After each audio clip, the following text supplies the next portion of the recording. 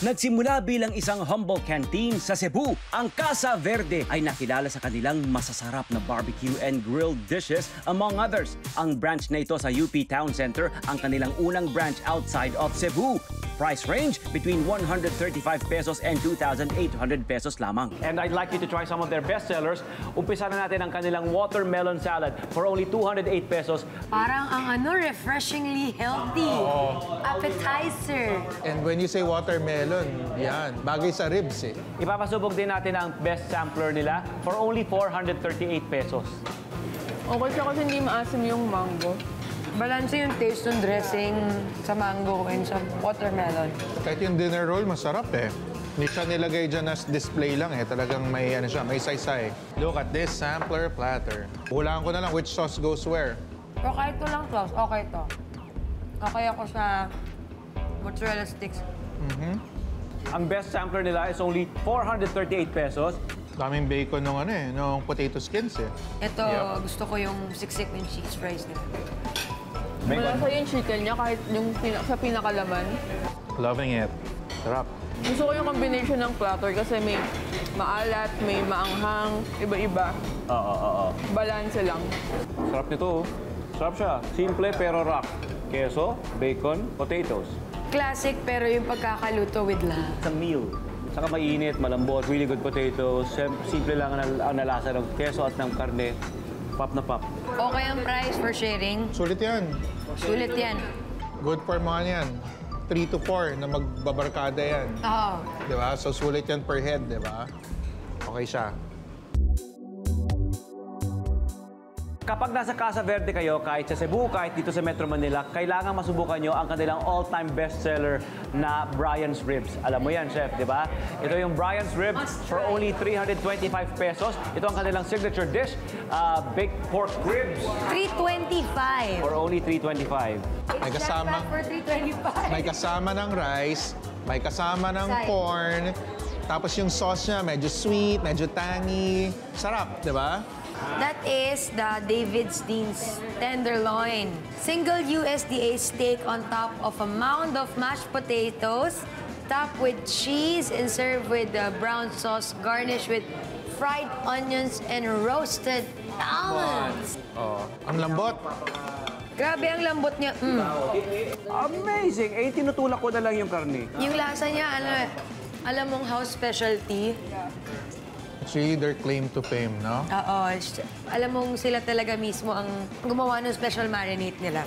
Pork ba to? Sobrang lambot eh. Parang kumakain ng chicken. I can't get over the fact that 325 pesos lamang ang ganito kalaking Brian's Ribs nila. Parang ano yan eh, breakfast, lunch, dinner mo na. sweet and tangy, very Filipino para may caramel na quality yung sauce. Saka gusto ko na plain rice. Ang ganda ng combination ng elements. Nung Dean's Tenderloin, ah, meron siyang ah, classy na presentation eh. So, mashed potato over the steak, medyo cheeseburger touch, saka ng cheese sa taas, at saka may onion rings. Kulang na lang tinapay. Mahilig mga Pinoy sa malambot na meat. So this was really a winner, no? And this one is for 318. Nagko-complement yung brown sauce niya sa meat, sa cheese. Yung mashed potato, ah, ang ganda ng creaminess niya. Malasa siya. No, it really complements everything. Tsaka maganda yung texture niya eh. Oo. Kaya pala ang daming families na nagpupunta, ang daming magkakaibigan, ang daming pumupunta. Kasi sulit ka na, parang this not just for one or, or two. Actually, kung medyo may nakakumain, baka parang kasya na to sa lahat sa inyo, extra rice na lang. Eh ano naman kaya ito mighty ton na mapapasubo raw kami?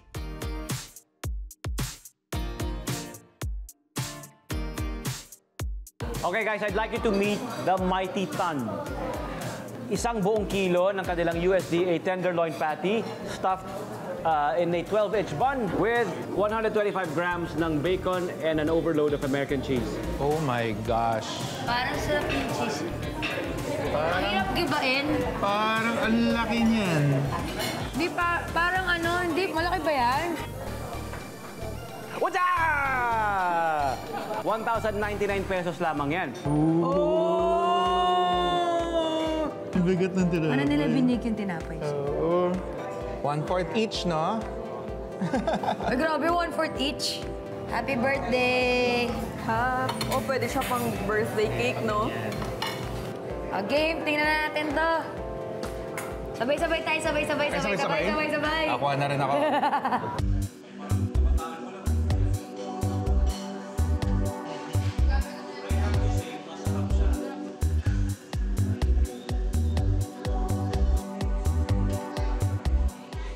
Grabe, hindi pwede walang fries. It's not just for show, ha? Masarap siya. I have to say, masarap siya. Successful sila. Luto siya through and through. Well done na patty na burger. Yung flavor ng sauteed onions and mushrooms na nag, nagpapa-level up sa lasa niya. Masarap siya na burger. Walang tapon. I think ano, no, yung ganito, parang good for 10 ba? Kasi mabigat yung meat niya eh. 1,099 for a kilo. Mura na yon, mura na yon. Masarap yung patty. Yung mismo patty masarap. Saka yung pinakaban. Masarap yung Gusto ko patty. yung pagkaban niya eh. Sobrang ano siya, Filipino na burger, eh, no? Yung panlasa niya. Yung sarap, malasa na. Tsaka cheesy. Lalo pag cheeseburger kasi ako mahilig ako sa madaming cheese. And Cheesy. usually yung ganyang kakapal na bread, dry na yan eh. Yung ganyang kakapal. Dito, hindi. Ito, ito okay ako dyan. Ma- Masarap siya, maganda. It could replace the idea of a birthday cake. May lunch ka na. Bumili na lang kayo ng ice cream. Para pagka meron, pa-burger ka naman. Oh, burger pa ka mo. Sa 1,099, ang layo na mararating. Masarap yung patty, kahit papakin mo yung patty Steak. lang. Masarap. Steak burger. Tapos may fries pa. And now, pwede na ring simulan ang authentic set of Casa Verde's desserts! Ito yung kanilang signature na Death by Chocolate for only 238 pesos. Death by diabetes. This dessert is to die for. Oh my gosh. May chocolate syrup. Binubuhos ba to? Grabe. Dahil frozen siya, tumitigas yung chocolate sauce. Solid to. And um, this is, uh, the, the biggest milkshake is for 458 pesos only. Pwede po ba ako mag-birthday dito? Tapos ilan na, ilan na yan? Good for it. Feeling ko, Pili ko sampu din to eh. super duper bagay to sa kanilang burger. Yung Kumain mighty burger honor. kanina. Oo. After mag-burger, no?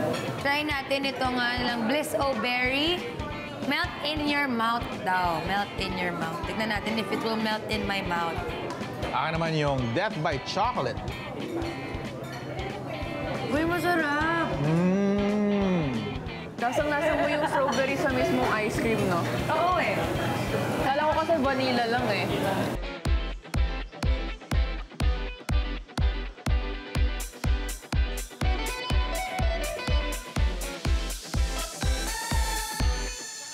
It's really comfort food for us Pinoys, di ba? Via Cebu. Ah. Good job, Cebu. Good job, Casa Verde. Good job. Maraming salamat, Casa Verde sa UP Town Center. Yeah! Cheers! Cheers! Magkabalik ka, Pop Top. Magkabalik po kami. Thank you.